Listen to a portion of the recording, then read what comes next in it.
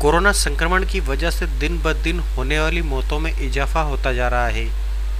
हाल यह है कि मुक्तिधाम पर प्रतिदिन 10-15 शव दाह संस्कार के लिए पहुँच रहे हैं। ऐसे में यहाँ कार्यरत कर्मचारियों में भी संक्रमण का भय बना रहता है, जिसे लेकर युवा सुंदर सिंह चावला और अक्षय बेस ने आगे आकर इन कर्मचारियों को 10 किट बुधवार को उपलब्ध कराई है।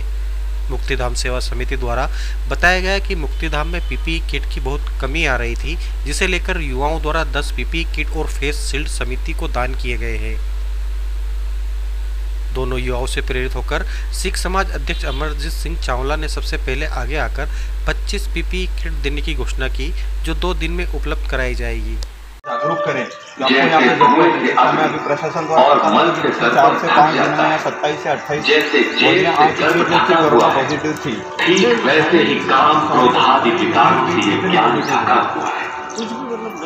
दस पॉजिटिव बॉडी आ चुकी है और आप लोगों के पास पीपी किट अवेलेबल नहीं है अभी ज़्यादा अग्नि जैसा आपको पता लगा प्रशासन के माध्यम से बहुत कम पीपी किट अवेलेबल है तो हम ये आप सबको डोनेट कर रहे हैं ऊपर से हम लोगों से भी विनती करना चाहते हैं कि लोगों का ध्यान ओर आकर्षित करना चाहते हैं कि यहाँ पे पीपी किट की कमी है तो कृपया करके आप यहाँ पे लोगों से अपील है कि पीपी किट जितनी हो सके दान करें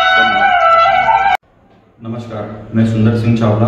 मैं अक्षय जब नागदा नगर की मुक्तिधाम सेवा समिति द्वारा हमें यह पता लगा कि वहाँ पे पीपी किट की कमी आ रही है और पिछले सात दिन के अंदर अंदर करीबन 40 देह संस्कार वहाँ पे करे गए हैं और पीपी किट की बहुत ज़्यादा कमी आ रही है। तब हम दोनों भाइयों के छोटा सा एक प्रयास करा कि 10 पीपी किट वहाँ दान करी और लोगों से ये अपील करना चाहते हैं हम कि जो वहाँ की सेवा समिति की जो भी व्यवस्था है, उन पर ध्यान दें। यह देखते हुए मेरे बड़े पापा सिख समाज के अध्यक्ष श्री अमरजीत सिंह जी चावला आगे आए और उन्होंने 25 पीपीई किट दान करने का वादा करा है, जो तक, जो परसों तक दान कर दी जाएगी।